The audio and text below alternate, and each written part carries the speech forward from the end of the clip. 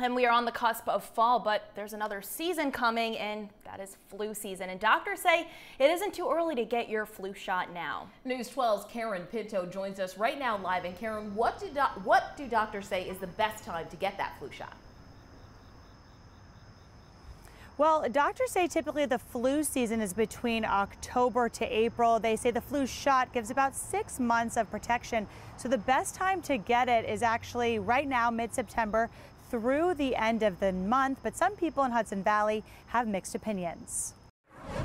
When it comes to getting the flu shot, there are mixed reviews. While I'm not particularly at risk, it's just a good thing to do societally, you know, build up immunity overall in the community. I have never gotten the flu shot. Eleanor Rubin got her COVID booster today. She says her flu shot is not far behind. I think I'll get it earlier. I didn't want to do it at the same time as the other. I just wasn't sure what the mix would be like. But yeah, I think I'll get it probably early maybe early October. But infectious disease consultant at Northwell Health, Dr. Harish Moorjani, says getting the two shots at the same time is fine. Vaccination fatigue does set in.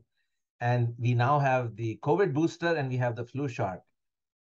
People have to take both, should take both. He says flu season was mild the last two years because folks were wearing masks and practicing social distancing.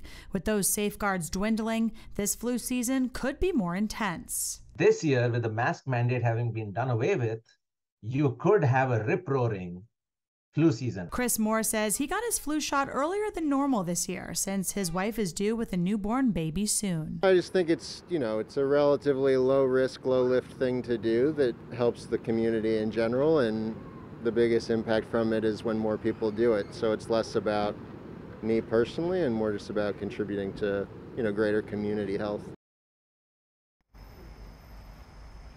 Now, Dr. Moorjani says if you are experiencing any sort of symptoms, you should take a free COVID test so you can rule that out. He says symptoms for the common cold as well as the flu are different, but if you are experiencing either of those, you should call your doctor. In Yonkers tonight, Karen Pinto, News 12.